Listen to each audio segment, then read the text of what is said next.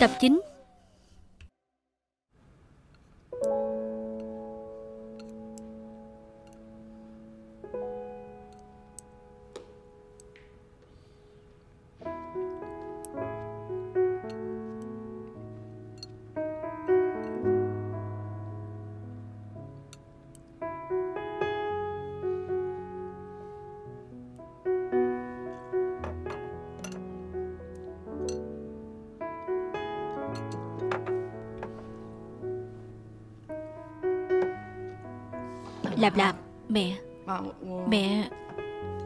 Con ăn no rồi.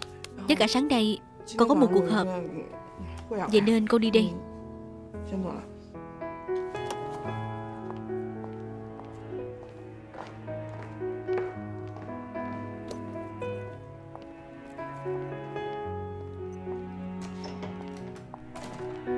Buổi tối ngủ không ngon. Hai cái bọng mắt đen thui. Con làm gì nó rồi?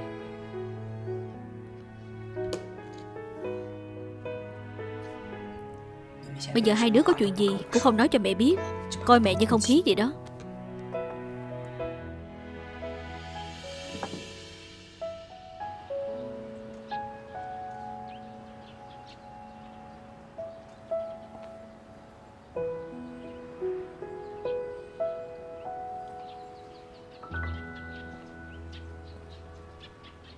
Alo Là anh đây. Buổi trưa đi ăn đi anh đại dĩ, hôm nay sao tốt vậy? Chủ động hẹn em đi ăn Quả thực là có việc, muốn bàn bạc với em đi. Tiến Thiến à Em có thể không làm phụ dâu của anh được hay không? Vậy thì em làm cô dâu nha. Là như vậy? Lạp Lạp vẫn hy vọng bạn của cô ấy làm phụ dâu. Phụ dâu bình thường. Không phải đây là cô dâu quyết định hay sao? Nhưng mà Mẹ của anh lại cứ hy vọng em tới làm phù dâu. Thế nên, ở giữa chắc chắn sẽ có xung đột. Quá ra vì em mà đem đến rắc rối lớn như vậy sao? Đây cũng không phải là rắc rối gì hết. Chỉ là em hiểu rõ rồi mà. Nếu như anh đi nói với mẹ của anh Về chuyện này, Thì độ khó sẽ rất là lớn. Vậy nên, anh chỉ có thể hy vọng Em có thể nể mặt của anh. Liệu có thể? Được rồi được rồi. Kết hôn là một chuyện vô cùng vui vẻ. Em cũng rất vui. Thế nên không sao hết. Em đồng ý với anh. Cảm ơn. Không có gì đâu.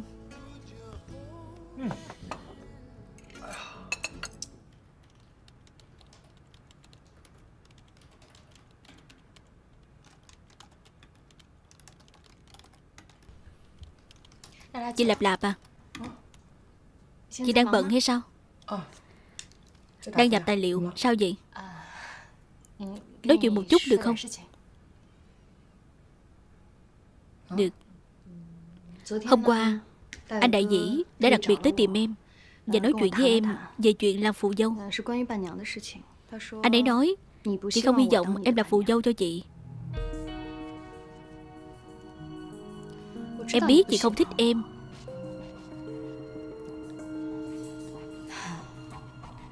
Có thể là vì chúng ta. Bây giờ đang là đối thủ cạnh tranh, Là ở cùng một phòng làm việc. Cho nên có lúc đối mặt với việc giải quyết vấn đề có thể em có hơi gấp gáp Nói chuyện có hơi thẳng quá Có đôi lúc em cũng biết khuyết điểm này của em Nhưng mà có lúc em cũng không khống chế được mình Chị cũng biết em là kiểu người tâm khí cao ngạo mà Thế nên Nhân cơ hội này Hy vọng chị hiểu cho em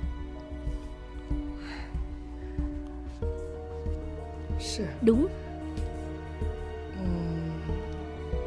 Đối với cách xử lý chuyện Cách nói năng của cô Quả thực có không thích lắm. Nhưng mà thật ra cô cũng rất nhiều ưu điểm. Cô còn trẻ như vậy Đã ngồi được lên vị trí này Cũng không dễ dàng gì hết. Lúc tôi bằng tuổi cô, Vẫn chỉ là gà mờ thôi.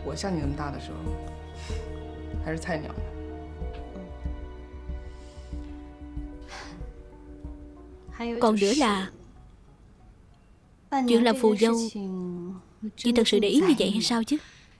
Thật ra lúc đó em nghĩ rất đơn giản。Em nghĩ là Mình có thể mặc đồ đẹp tới tham gia hôn lễ của anh đại dĩ。Không chừng Có thể gặp được bạch mã hoàng tử tương lai của mình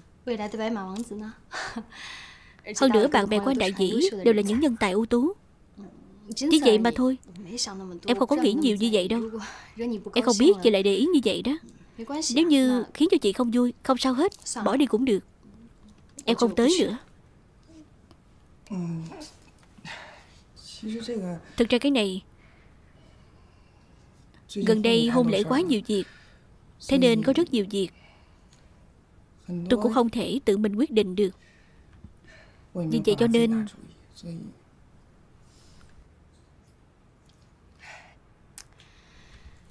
Không sao đâu Làm khó cho chị rồi Em biết。Thực ra em Tham gia hôn lễ còn có một nguyên nhân nữa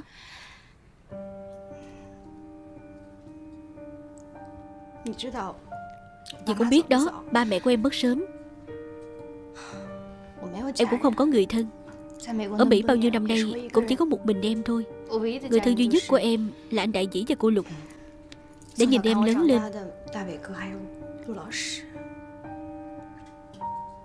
Anh Đại Dĩ Kết hôn. Thì em thực lòng muốn chúc phúc cho anh ấy. Chị có biết không? Em hy vọng anh ấy hạnh phúc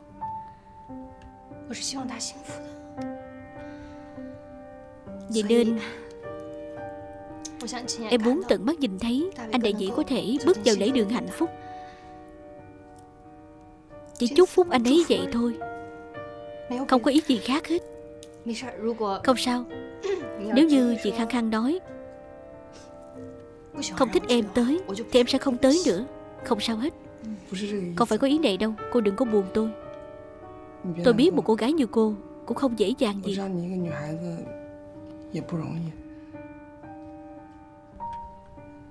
Đúng。Tôi biết Cô lục danh đại dĩ của cô Đối với cô mà nói rất quan trọng。Hôn lễ của chúng tôi。Cô nên tham gia mới phải。Phù dâu của tôi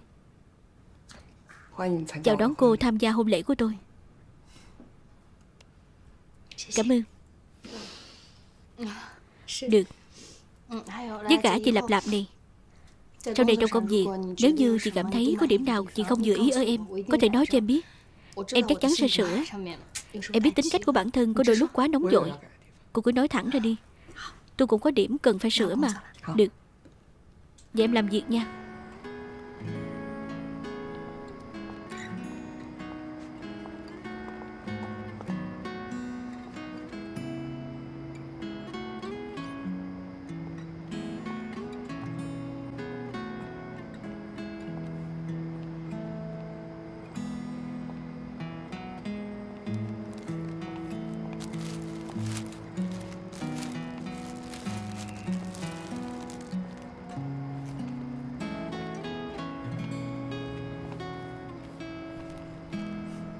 Lại là hoa nữa.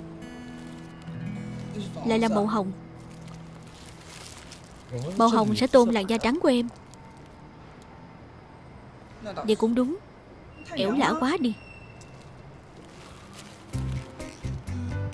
Nhưng mà nó là màu sắc gần nhất với em. Màu sắc gần nhất chỗ nào chứ? Gần với cơ thể của em vào lúc nào đó. Được rồi, được rồi hơn nữa Anh vừa nhận được điện thoại. Cửa hàng mà em yêu thích nhất kia. Có nhân biển tươi mới vận chuyển tới Thượng Hải. Vậy nên anh đã để dành ra hai chỗ. Không biết em có rảnh hay không?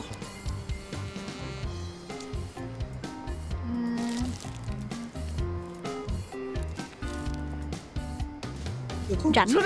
Sẽ ở đây nhanh lên? Đi thì đi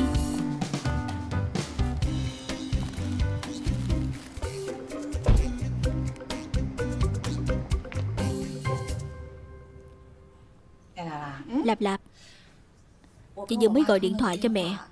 Mẹ nói hai đứa em đang chiến tranh lạnh với nhau. Nói là đổi phù dâu gì đó. Sao rồi? Em nhất định muốn đã thông tư tưởng của Dương Dĩ hay sao? Chị yên tâm đi. Tối qua người nào đó đã mang qua hồng tới nhận lỗi rồi. Vậy thì tốt. Còn về việc phù dâu Em cảm thấy không đổi nữa. Chuyện gì vậy chứ? Ca say cho em uống thuốc mê rồi hay sao? Không phải đâu. Thực ra Cô ấy cũng không xấu tới vậy mà. Cạnh tranh trong công việc giữa em và cô ấy Không tránh được cũng là điều bình thường.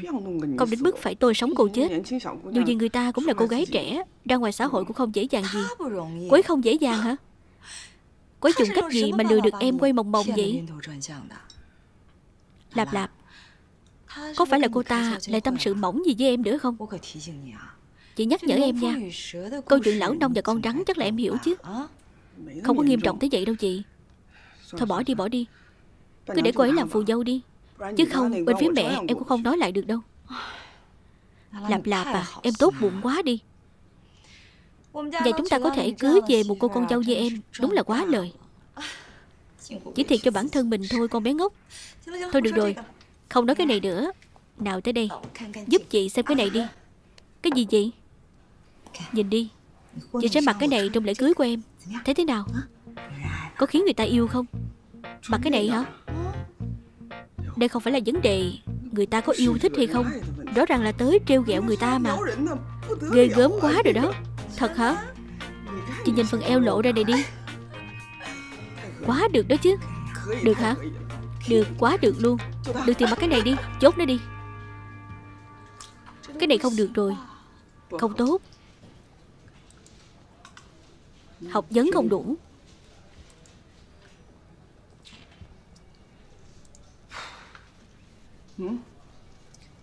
Cái này cũng được nè. Thạc sĩ quản lý công thương. Đúng vậy, ở Bắc Mỹ và châu Âu Cũng từng có kinh nghiệm làm việc rồi. Đại học Thân Giang Là trường đại học của chị phải không? Đúng đó. Chị nhìn xem chị có quen người này hay không? Tên là gì? Y Thanh Trần. Y Thanh Trần. Không quen biết. Người này chắc là nhắm vào chức vị cỡ phó giám đốc Của SH chúng ta mà tới.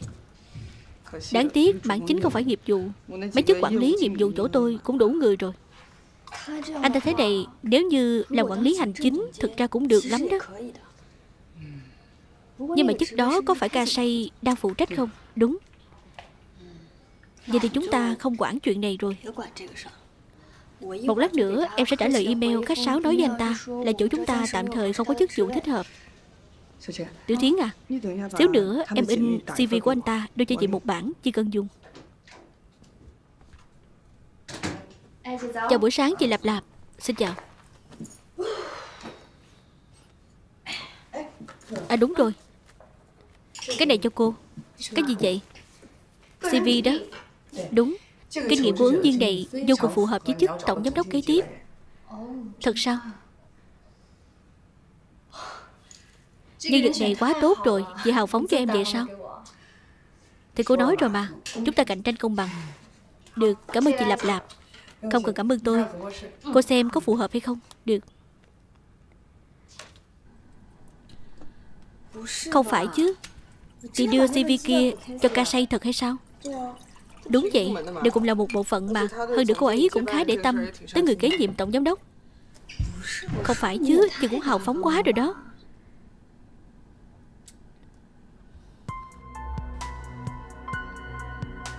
Tổng giám đốc sắp tới tuổi rồi, Vô cùng kiên kỵ người kế nhiệm này. Ông ấy không muốn để ai kế nhiệm hết, Để công ty đặt cách, mở lại làm việc đấy. Nếu như tìm người tới cho ông ấy thật, Thì chờ chết đi.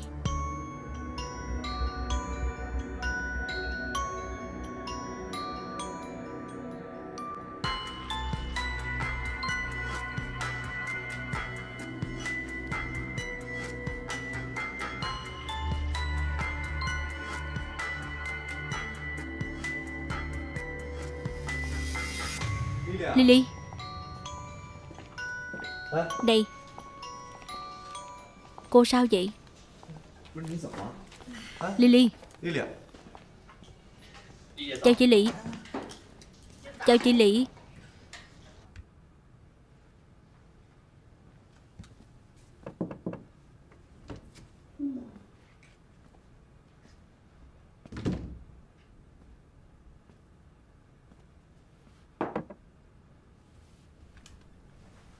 Này.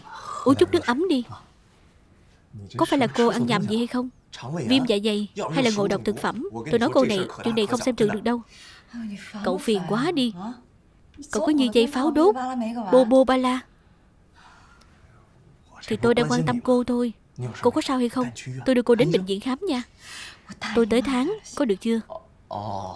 Cậu còn phiền hơn cả tới tháng nữa. Mấy giờ rồi? Tôi còn phải tham gia cuộc họp hàng năm nữa. Thôi được rồi. Đã bệnh thành ra như vậy rồi, Cô đừng có đi. Vậy sao được chứ? Đây chẳng phải là lý do chính đáng Để tránh đi hay sao? Cô nghe nói chưa? Cuộc họp hàng năm lần này, Trọng điểm là thảo luận về kế hoạch người kế nhiệm. Những vị trí khác đều tìm được rồi. Chỉ còn thiếu chức tổng giám đốc thôi. Tâm tư của tổng giám đốc của chúng ta, Cô còn không biết hay sao? Một nhân viên lão làng Cô nghĩ xem 10 năm trước, Lúc đề bạt chức tổng giám đốc điều hành Đã tạo ra sóng gió. Mưa máu gió tanh cỡ nào chứ? Những người được nhắc tên trước đây, Sau đó đều bị đưa vào lãnh cung hết rồi. Tôi nói cho cô nghe, Hồi đó còn đang là lúc Tổng giám đốc còn trẻ khỏe đấy. Bây giờ đang gần tới lúc nghỉ hưu, Kiên kỵ nhất chính là cái này. Tôi nói cô này, Chuyện này rơi trúng đầu ai thì người đó run sợ. Vậy trong bộ phận nhân sự các cậu ai phụ trách Kế hoạch người kế nhiệm không phải là lạp lạp đấy chứ. Lạp lạp không sao Cô ấy là các nhân thiên tướng mà. Vì xui xẻo này Rơi vào đầu của ca say Đáng đời. Lần này nhất định sẽ khiến cho tổng giám đốc không vui vẻ gì. Với cái tính cách hiếu thắng bất chấp đó của cô ta Chắc chắn sẽ làm tốt kế hoạch này. Nhưng mà Danh sách người kế nhiệm đưa lên một lần Sẽ đâm vào tim tổng giám đốc một lần. Lily Cô không sao chứ? Tôi nói thật đó Cô vẫn đừng nên đi Như vậy cũng tốt. Thời điểm rối ren Tránh đi là tốt. Cậu mau đi đi Cứ kệ tôi. Đi đi. Vậy tôi uống nhiều nước ấm vào. Uống hết nha. Nhớ đó.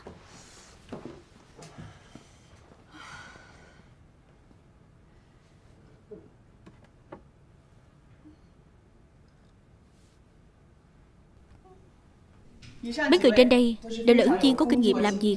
Tôi cũng đã đích thân liên hệ rồi. Mỗi một người họ đều vô cùng vui vẻ Muốn tới công ty SH của chúng ta Bọn họ vô cùng bằng lòng. Tốt. Cảm ơn Lạp Lạp. Xin mời ngồi. Đỗ Lạp Lạp. Không hổ là một tướng tốt của công ty chúng ta. Làm việc vô cùng tỉ mỉ Thể hiện được thực lực của phòng nhân sự chúng ta. Ca say, kế hoạch người kế nhiệm của cô tiến triển thế nào rồi? Là thế này, trước mắt thấy được ứng viên kế nhiệm Cho hai phó giám đốc hành chính đã chọn xong rồi. Tư liệu đã được đặt trong tập tài liệu. Xin hãy xem qua Các hạng mục tiêu chuẩn cũng khá phù hợp đó. Được rồi. Không đúng rồi. Người kế nhiệm mà cô phải phụ trách Vẫn còn một vị quan trọng nhất nữa. Người kế nhiệm của tổng giám đốc chúng ta đâu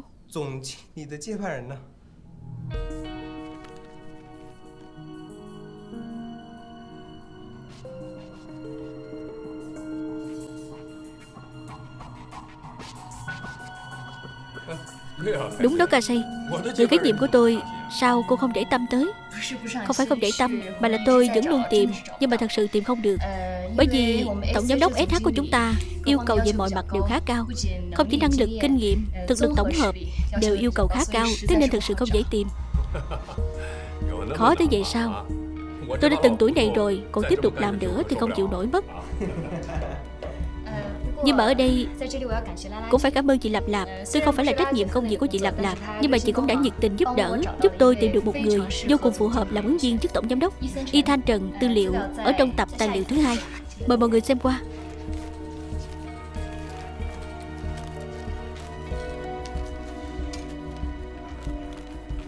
Bộ phận nhân sự giúp đỡ nhau nhiệt tình quá. Đỗ Lạp Lạp vẫn luôn làm việc vô cùng xuất sắc không phải trách nhiệm công việc của mình cũng cố gắng tới như vậy. Cô có tâm quá. Tôi thấy Y Thanh Trần này khá được đó chứ. Vẫn là bộ phận nhân sự các cô có năng lực. Tìm được ứng viên phù hợp tới như vậy. Người có năng lực như thế này, Không kế nhiệm tôi thì kế nhiệm ai? Bộ phận nhân sự các cô nhất định phải nghĩ mọi cách Kéo Y Thanh Trần này tới đây cho tôi. Nếu như không kéo được, Thì coi như các cô không làm tròn chức trách. Tổng giám đốc, tôi không dám chiếm công lao. Đã lẫn viên chị Lạp Lạp đề cử. Để chị Lạp Lạp làm đi không không, như vậy không được. Lạp lạp, đừng nói gì hết. Không được kiếm cớ cho thất bại Chỉ nghĩ cách cho thành công thôi. Chuyện này cô nhất định phải giúp cho tôi làm tốt. Đỗ lạp lạp, cô làm việc tốt cho tới cùng luôn đi. Tiễn Phật tiễn tới Tây Thiên. Người kế nhiệm của tôi nhờ cả vào cô đó. Được lạp lạp cố lên. Tôi sẽ cố gắng. Thở dài gì chứ. Vừa rồi Cứ luôn quán tôi. Lạp lạp có phải là cô ngốc hay không vậy? Cô để tâm một chút đi được không? Lần này cô chết chắc rồi đó. Đúng là ngốc rồi. Để qua điện thoại ở trong đó Tôi đi lấy đây. Đầu óc hỏng thật rồi.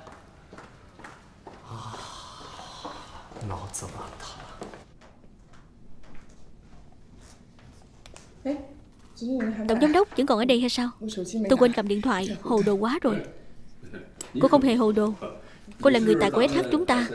Tôi thấy cô khó mà hồ đồ được. Không tệ. Tổng giám đốc đi thông thả à?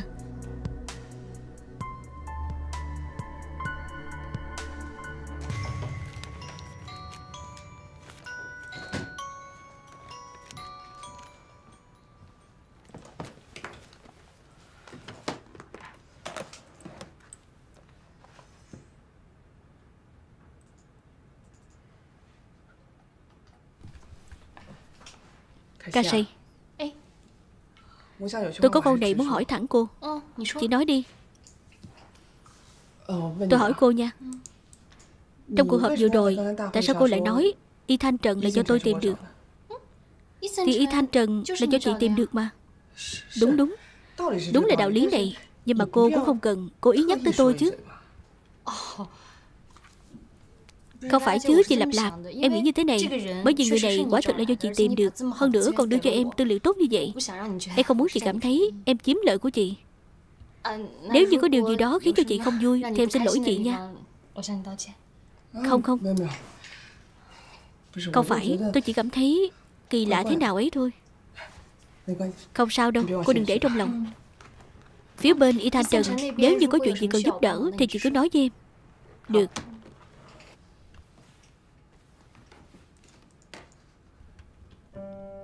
Phạm vào đại kỵ rồi. Đúng. Em nghe chị phân tích nha. Chị làm ở SH bao lâu nay rồi? Em mới tới chưa lâu?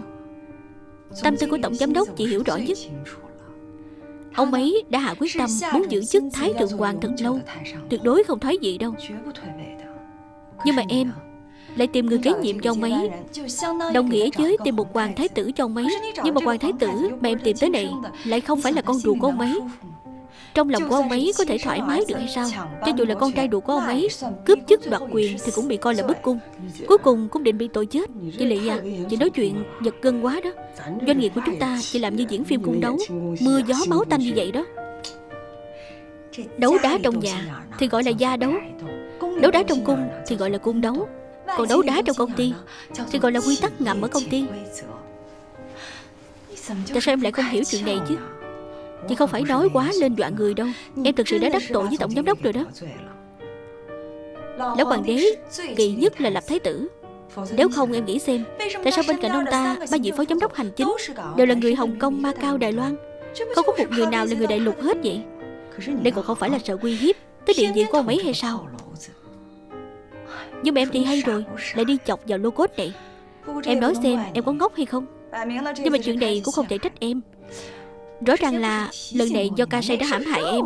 Trước đây không phải chị đã nhắc nhở em rồi hay sao? Không có chuyện gì thì tránh cô ta đi Đã phải để mình chịu thiệt thòi. Em còn không biết được nội tình. Tại sao cô ta lại biết chứ? Đúng. Em tới SH chưa bao lâu Nhưng mà cô ta cũng mới tới được mấy tháng thôi. Sao cô ta có thời gian để đi hại em chứ đúng hay không Em quá ngây thơ rồi, Lạp lạp. Là người hay là chó, Là địch hay là bạn, Thời gian lâu dài em sẽ nhìn rõ thôi. Chị nói xem, Có phải là chúng ta có chút hiểu lầm với cô ấy rồi hay không? Thật ra cô ấy cũng không xấu tới mức đó. Con người ấy mà, Lùi một bước, trời cao biển rộng. Bây giờ không phải là thời đại Mà lùi một bước, trời cao biển rộng nữa rồi. Bây giờ mình nhìn một chút là người ta Được đặt chân lên lần đầu, Lùi một bước là còn tệ hơn nữa đó có biết không Lạp Lạp?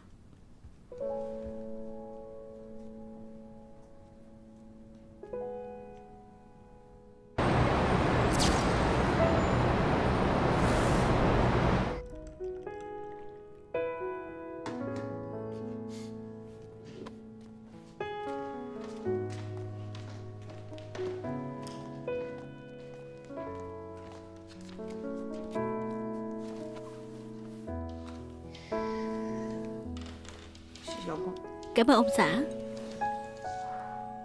Có tâm sự sao?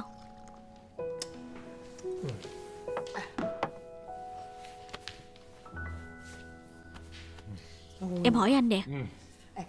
Anh có còn nhớ kế hoạch người kế nhiệm Mà lần trước em nói với anh không? Không biết sao? Công việc tìm người kế nhiệm cho tổng giám đốc Đột nhiên lại rơi lên đầu của em sau đó chị Lị nói với em Tổng giám đốc là một người không dễ động vào. Hơn nữa ông ấy căn bản không muốn tìm người kế nhiệm cho mình. Anh nói xem Theo như chị ấy nói Thì chẳng phải là đâm một nhát dao vào tim tổng giám đốc hay sao? Vậy đối lập Lạp Anh Minh thần võ Em quyết định làm thế nào đi Em phân tích cho anh nghe một chút nha. Anh xem. Về công, về núi Nghe đàng hoàng coi. Về công, du công. Tuyển người kế nhiệm vốn là trách nhiệm của bộ phận nhân sự tụi em. Thế nên em nhất định phải làm việc tới nơi tới chốn. Hơn nữa đây là mệnh lệnh mà công ty truyền đạt xuống. Em cũng không thể vì tổng giám đốc nói Không muốn tìm người kế nhiệm mà không tuyển người. Đương nhiên về tư Em chính là một đối lạp lạp hết mình với công việc. Thế nên em nhất định sẽ làm thật tốt việc này. Anh nói xem có đúng không? Em đúng là nhiệt tình với công việc. Em cũng là vô cùng có trách nhiệm, Cũng có niềm vinh dự. Nhưng mà thực sự là không phải ai cũng sẽ như vậy. Người không vì mình, trời tru đất diệt Rất nhiều người sẽ đặt lợi ích của bản thân lên vị trí đầu tiên. Hơn nữa, em có nên cẩn thận, cân nhắc một chút. Cái người em có khả năng sẽ đắc tội lúc này. Liên quan tới việc em có được cái chức vụ quản lý nhân sự hay không? Em biết là anh hiểu em mà. Điều mà em lo lắng bây giờ Chính là anh cũng biết. Em mà làm việc thì luôn thẳng thắn Không thích kiểu giấu giếm Có sao làm vậy là được rồi. Vậy nên thay vì suy đoán Tổng giám đốc muốn làm gì Hoặc là trong lòng ông ấy nghĩ cái gì? Chẳng bằng trực tiếp đi hỏi ông ấy là xong rồi. Hiểu biết của em với tổng giám đốc. Em cảm thấy ông ấy có vẻ là một người Sẽ lấy đại cục làm trọng Cũng khá dễ gần. Quản lý cấp cao của doanh nghiệp mà Hẳn là phải có phong thái Của một đại tướng chứ. Đương nhiên rồi Đây là trạng thái lý tưởng nhất có phải là đại tướng hay không? Chỉ là lý luận. Anh cảm thấy trực giác của em có khả năng là đúng Nhưng mà liệu có khả năng có tình huống? Chính là kế hoạch này rất khó để thực hiện. Thế nên phía bên Tiến Tiến Chắc chắn cũng không đưa ra được. Vậy thì vào lúc này Em việc gì phải bất chấp? Nhất định phải đưa ra một bản thành tích trước chứ. Nếu như em cũng kéo dài Để xem xem tình huống chung thay đổi như thế nào. Rồi hãy đưa ra quyết định sao Em cảm thấy như vậy không hay Như vậy là không có trách nhiệm với công việc hơn nữa cũng không có trách nhiệm với người kế nhiệm tìm tới. Anh bảo để đó Vậy phải để đó bao nhiêu lâu? Không bảo em để đó Mà là em không tìm thấy Không phải sao? Nhưng mà em tìm được rồi Không phải cũng phải để đó sao? Cứ kéo dài cũng không phải là cách Đúng không? Em đó Mấy năm nay trải nghiệm cuộc sống phong phú hơn rồi Kinh nghiệm làm gì cũng có nhiều. Nhưng sao cứ nói đến vấn đề có tính nguyên tắc thế này Em lại trở về là đổ lặp lạc của năm đó Lập tức bừng bừng nhiệt quyết vậy. Tin anh đi Có đôi lúc phải chậm mà chắc Em là Đỗ Lạp Lạp đúng không? Đúng. Đỗ Lạp Lạp. Em là Đỗ Lạp Lạp mà.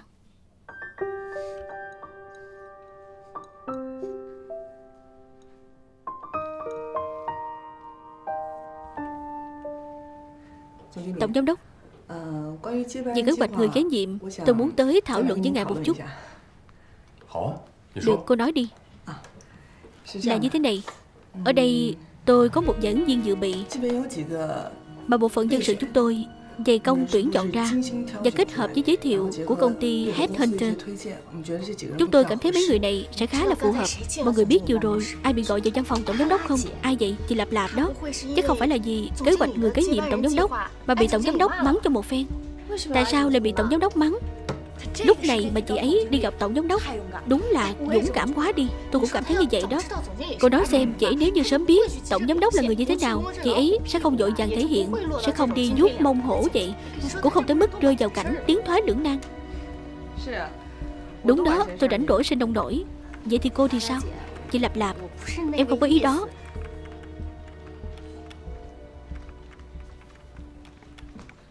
Tiểu Thiến à Tới đây một chút. Dân Chị Lạp Lạp. Sao vậy? Sau đó em mới biết được Tổng giám đốc hình như không thích kế hoạch người kế nhiệm cho lắm. Xin lỗi chị nha, Khiến cho chị khó xử rồi. Không sao chứ. Tổng giám đốc có nói gì với chị không? Tôi đã nói chuyện với tổng giám đốc rồi. Ông ấy nói Ý của cô tôi hiểu. Suy nghĩ của tôi là không cần phải băn khoăn. Cứ thoải mái làm đi. Nhất định phải tìm cho tôi một người kế nhiệm tốt. Có cần gì Tôi với công ty nhất định sẽ giúp đỡ cho cô hết sức. Tổng giám đốc à Ngài đồng ý rồi đúng không? Đương nhiên là tôi đồng ý. Sao vậy? Cô cho rằng tôi là người nhỏ nhen hay sao? Không phải không phải. Tôi nói với cô này Thực ra lúc tôi nói với cô Khó mà hồ đồ được. Chính là tôi công nhận cô Cô không cần phải nghĩ nhiều. Mấy lời đồn thổi Nói bóng nói gió kia cô đừng có tin. Tôi đã từng tuổi này rồi Quyền lực có lớn hơn nữa Sớm muộn gì cũng phải buông tay mà thôi.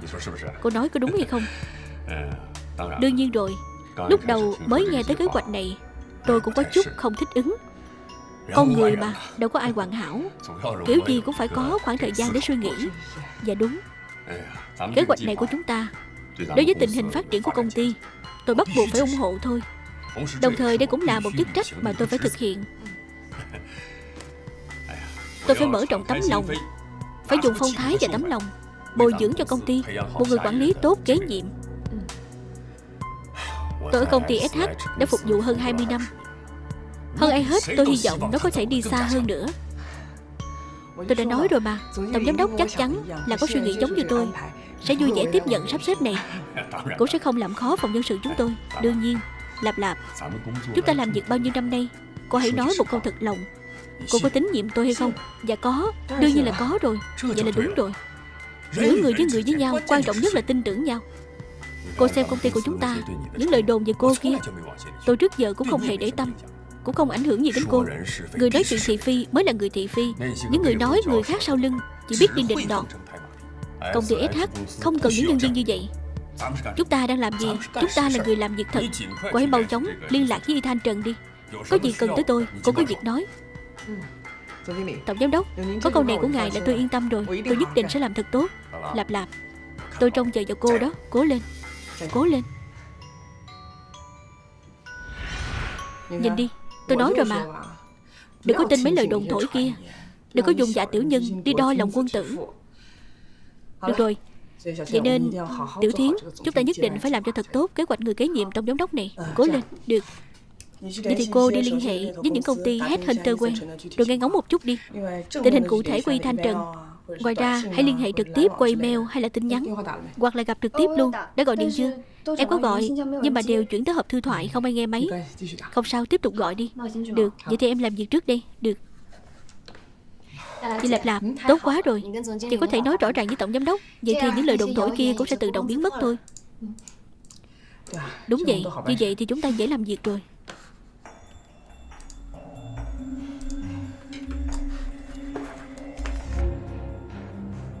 Cậu nói xem. Đó lạp lạp vội vàng Muốn tôi bày tỏ thái độ Tôi có thể không nói mấy lời hay ho một chút hay sao? Áp lực của khu vực châu Á cũng lớn Cứ làm ra vẻ trước đã Đợi đổi lạp lạp Tuyển y thanh trần kia vào Thì chúng ta sẽ có thời gian chỉnh hắn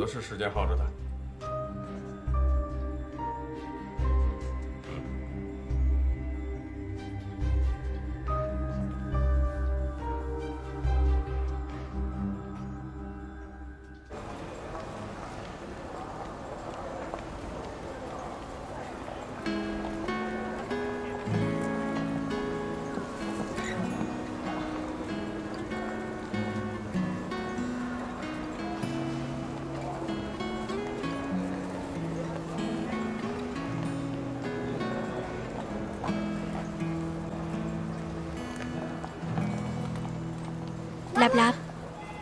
Mẹ, Sao bây giờ con mới tới chứ? Alo, Đúng là tôi đây. Mẹ đang tính gọi cho con đây, Đợi con cả buổi trời đó. Đã đỡ hơn chưa? Mẹ Ngày mai con kết hôn đó.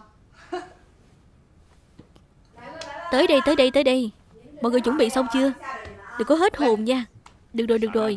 Bước ra chói mắt đi nào.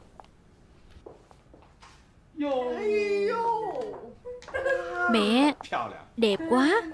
Đỡm dáng ghê đó. Thế nào Bộ đồ này của mẹ ấy? Quả thật là quá đẹp luôn đó. Ba phải cẩn thận nha ba. Ngày mai ở hôn lễ của con Bà phải coi chừng kỹ vào. Không là bị người ta đưa đi mất Là hối hận không kịp đâu. Cái con bé này Nói cái gì vậy không biết. Không biết lớn nhỏ gì hết. Sao bà con có vẻ không lo lắng chút nào vậy hả Ngày mai là con kết hôn rồi đó. Ba, con đính chính lại ba một chuyện. Ngày mai con tổ chức hôn lễ. Chứ con đã lãnh giấy đăng ký kết hôn từ lâu rồi. Cái kiểu hình thức thế này có gì mà phải lo lắng. Đúng vậy đúng vậy. Sao giờ lúc này mẹ lại càng không đỡ để con gái gả đi chứ? Con nói xem một cô gái tốt như thế này Tại sao phải gả đi cho người ta? Không lấy chồng nữa. Không được sao Không lấy thì không lấy. Đúng rồi. Tôi phải sửa lại cho bà. Không phải chúng ta gả con gái cho người ta Mà là chúng ta có thêm một đứa con trai. Hơn nữa cho dù lạp lạp của chúng ta ngày mai đi lấy chồng Thì trong nhà của chúng ta vẫn luôn có vị trí dành cho lạp lạp. Đúng, lạp lạp à. Ba, ba nói với con này Nhớ nhà thì cứ về. Cần gì thì cứ về. Không vui cũng về đây. Bất kể là lúc nào Con cũng hãy nhớ ba mẹ Là hậu thuẫn lớn nhất của con Thôi được rồi mà. Ba xem ba kìa. Có phải làm cho con khóc tới mắt sưng húp lên Rồi đi kết hôn hay sao? Thiệt tình. Yên tâm đi. Con nhất định sẽ kết hôn một cách đàng hoàng. Nhất định sẽ yên ổn hạnh phúc. Vô cùng hạnh phúc luôn. Như vậy được chưa? Được rồi con phải yên ổn, Hạnh phúc. Alo, Lạp Lạp, Bây giờ cậu có tiện nói chuyện không? Vương Vĩ không ở bên cạnh cậu chứ. Làm gì? Nói xấu Vương Vĩ hả? Không phải, Mình gặp Trần Dực Hiện giờ cậu ấy đang ngồi đối diện mình đây. Cậu ấy về Thượng Hải rồi.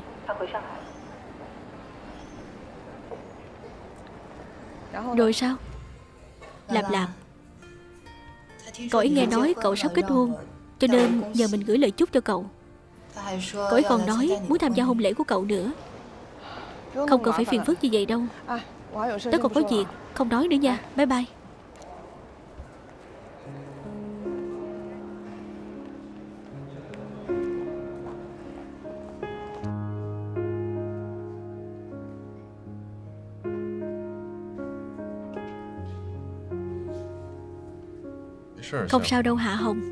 Thái độ này của Lạp Lạp rất bình thường thôi Tôi đoán được mà. Trân Giật à Mọi người đều là bạn bè cũ với nhau. Theo lý mà nói Tôi không nên vừa gặp đã mắng cậu. Nhưng mà lúc đầu cậu quá tuyệt tình. Tại sao cậu lại đột nhiên chia tay với Lạp Lạp? Ngay cả một lý do cũng không có. Cậu có biết lúc đó Lạp Lạp đau khổ thế nào không? Nếu như tôi nói Tôi còn đau khổ hơn cô ấy thì sao? Cô có tin không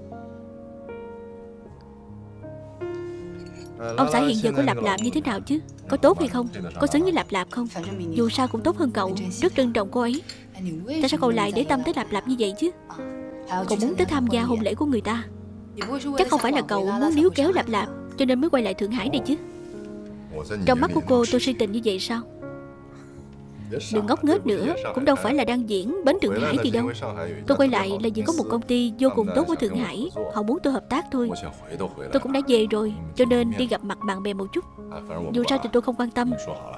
Tôi với cô cũng đã nói với nhau, Hôn lễ của Lạp Lạp, Cô nghĩ cách để tôi có thể vào đó đi. Không được. Làm Lạp rõ ràng không quan nghênh cậu tới. Tôi không muốn làm tôi cô ấy ghét đâu. Hạ Hồng, Có phải là bạn không? Tôi thật lòng muốn chúc phúc cho Lạp Lạp mà, Không có ý gì khác hết. Tôi đảm bảo với cô Thôi được rồi, tôi đảm bảo với cô Tôi tuyệt đối sẽ không cướp lạp lạp đi Ngay trong hôn lễ như vậy Tôi đảm bảo mà. Ai biết là cậu nói thật hay đùa.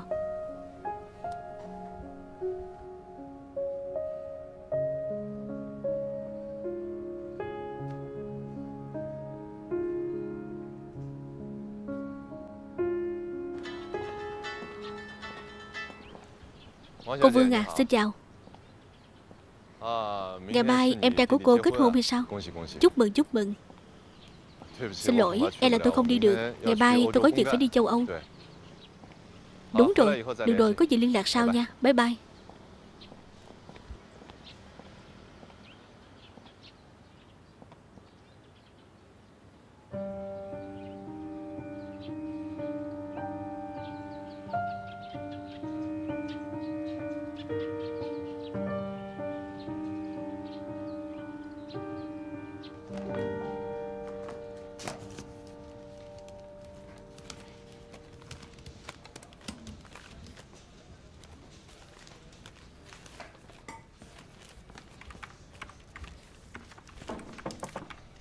bơi dao.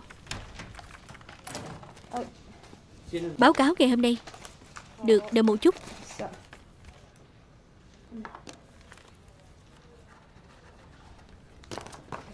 Vậy tôi đi trước đi.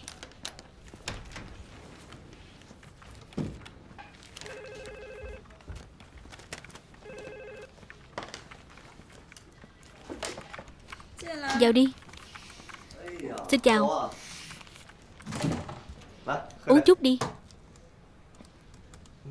Cô cũng cuồng công việc quá nhỉ? Ngày mai em trai của cô và Lạp Lạp kết hôn Sắp kết hôn mà vẫn phải tăng ca hay sao? Tôi chỉ là không muốn ngày mai ở hôn lễ Vẫn còn nghĩ đến chuyện công việc. Vậy nên muốn cố gắng làm cho xong thôi. Cậu đừng có làm phiền tôi Tôi phải mau chóng làm xong. Lát nữa còn phải đi mua lễ phục. Thân là chị chồng cũng đâu thể thua kém ai. Không đâu Cô có khí chất như vậy mà. Sao có thể thua kém? Alo Anh có thể tới tham gia hôn lễ hay sao? Xin lỗi nha, Tôi nhầm lịch, Tuần sau mới phải đi châu Âu. Đúng rồi đúng rồi, Bây giờ tôi có thể đi được. Vậy tốt quá rồi. Thế này, Bây giờ cô có rảnh hay không? Chúng ta gặp nhau, Mua chút quà cho em trai của cô. Được được. Vậy một lát nữa gặp anh nha. Bye bye. Lily, Cô đi đâu vậy hả? Tôi có việc. Không phải chứ. Nếu cô không còn việc gì, Thì tôi có thể đi cùng với cô. Không phải cô đang muốn đi coi lễ phục sao? Không cần. Đi đây. Bye bye. Lily. Cô không tăng ca nữa hay sao